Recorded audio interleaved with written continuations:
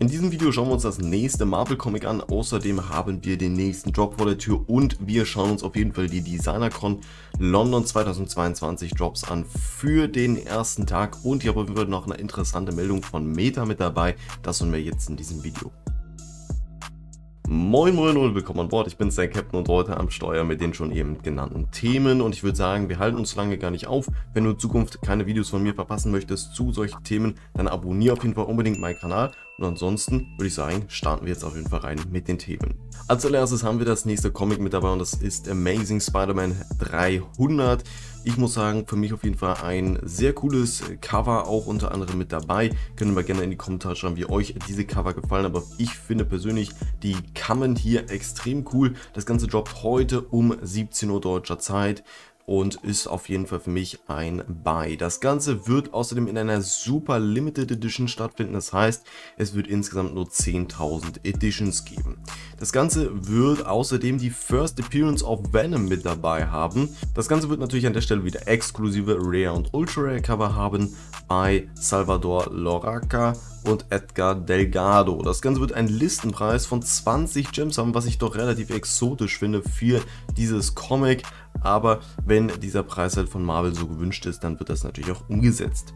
Wir haben hier außerdem 6000 Commons, 2250 Uncommon, 1000 Rare, 500 Ultra und eine 250er Auflage von Rares, was natürlich an der Stelle sehr, sehr wenig sein wird. Und ich könnte mir auch sehr gut vorstellen, dass das Comic tatsächlich relativ gut gehen wird, weil es doch relativ beliebt ist auf dem Comic-Markt. An der Stelle sollte man sich auch nicht laut Chris auf jeden Fall hier an Go Collect nur orientieren.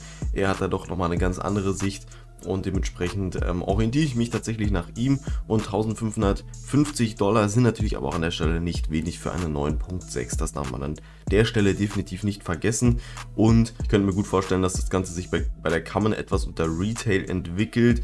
Das werden wir dann aber sehen, wie sich das Comic allgemein überhaupt etabliert in die App, wie viele dann auch das Comic mit der First Appearance of Venom haben wollen. Ich bin auf jeden Fall gespannt. Ihr könnt aber gerne unten in die Kommentare schreiben, ob ihr denkt, ob dieses Comic hier unter Retail geht oder auch nicht. Ansonsten haben wir auch den nächsten Drop mit dabei und der nächste Drop wird Mittwochs stattfinden und wir sehen hier einen Collectible Drop und zwar Dr. Otto Octavius, beziehungsweise auch unter dem Namen bekannt Dr. Octopus für mich persönlich ein Job, den ich mitmachen werde, wenn ich weiß, wie die Drop-Details aussehen, je nachdem wie viele Gems das sind und ob er animiert ist oder auch nicht.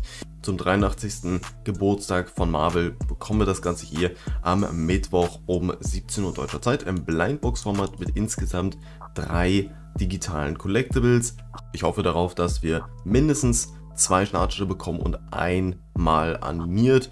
Ich bin mal gespannt, wie das Ganze dann aussehen wird. Und ich bin auf jeden Fall auch gespannt auf deine Meinung, wie du zu diesem Collectible stehst. Von der Grafik her muss ich sagen, bin ich nicht allzu überzeugt. Also dieses Gesicht sehe ich jetzt schon in sehr, sehr vielen Memes, ehrlich gesagt. Ähm, ja, muss man sehen, muss man mögen. Äh, man muss natürlich auch ein Dr. Octopus-Fan sein an der Stelle. Aber wie gesagt, schreibt es mal gerne in die Kommentare, wie ihr zu diesem Job steht. Und ansonsten schauen wir uns mal die DesignerCon London 2022 Jobs an für den ersten Tag. Und hier sehen wir nämlich als allererstes Scott Tallerson um 15 Uhr deutscher Zeit. Das Ganze ist nur ein einzelnes Collectible und wird hier das Deacon-Maskottchen in der UK Edition sein. Das Ganze wird einen Listenpreis von 25 Gems haben, eine Edition-Zahl von 2888 Stück und eine Common sein und eine Con Exclusive sein. Als nächstes haben wir dann Kai Chao. Wir haben hier einmal die Uncommon. Das Ganze wird insgesamt einen Listenpreis von 25 Gems haben. Das Ganze wird auch im Blindbox-Format stattfinden. Editions gibt es hier nur insgesamt 750, was an der Stelle schon sehr, sehr wenig ist. Edition Type ist an der Stelle natürlich eine Con Exclusive. Anschließend haben wir hier die Dior Edition in der Rare Variante. Das Ganze wird 550 Gems kosten und eine Con Exclusive sein. Anschließend haben wir dann die Kai Edition, 450 Editions und natürlich wieder ein Listenpreis von 25 Gems und eine Ultra Rare wird das Ganze als Rarität sein. Das Ganze wird um 16 Uhr deutscher Zeit droppen am Samstag. Anschließend haben wir dann den Drop von X Large mit diesen ja, animierten Affen an der Stelle. Das Ganze wird einmal als Rare verfügbar sein mit einem Listenpreis von 50 Gems und einer Edition-Zahl von 1088 als Con-Exclusive natürlich gelistet. Und dann haben wir noch als zweites einmal die Oldschool-Variante, beziehungsweise der heißt Oldschool ähm, und ist eine Ultra Rare. Listenpreis natürlich wieder 50 Gems, weil es ein Blindbox-Format ist und 788 Editions. Das Ganze wird um 17 Uhr deutscher Zeit am Samstag droppen. Anschließend haben wir dann noch Well Free. Insgesamt wird das hier keine Blindbox sein. Wir werden hier einen Listenpreis von 25 Gems sehen und eine Edition von 1188 sind. Das Ganze wird eine Rare sein und natürlich eine Con-Exclusive. Anschließend haben wir die Rare dazu. Das Ganze wird 65 Gems wieder kosten, eine Edition-Zahl von 1188 Stück haben und als Rare gehen. Anschließend haben wir dann nochmal eine Rare und das Ganze wird wieder auch 1188 Editions haben. Listenpreis auch gleich und das Ganze wird um 18 Uhr deutscher Zeit am Samstag droppen. Schreibt mir auf jeden Fall mal sehr gerne in die Kommentare, welches Collectible ihr hier auf jeden Fall mitnehmen werdet von der Deacon oder ob ihr gar keins mitnehmt. Und zum Schluss gehen wir nochmal ganz kurz auf Meta ein, denn es ist ab sofort möglich, in ausgewählten Ländern sein Wallet zu connecten mit Instagram und dort auch seine NFTs zu zeigen. Das Ganze meines Wissens nach funktioniert über Polygon wie auch Ethereum. Das heißt, ihr könnt euer Wallet damit verbinden und dann sozusagen die NFTs dort eintragen. Finde ich extrem, extrem cool und ich bin mal gespannt, wie sich das Ganze auch durchsetzen wird. Und ich bin aber überzeugt, dass wir hier in Zukunft auch Vivi Collectibles sehen werden. Ich meine, Vivi sitzt auf der Ethereum Blockchain. Warum sollte das denn nicht möglich sein? Ich bin aber mal gespannt, wann das Ganze denn dann mal umgesetzt wird.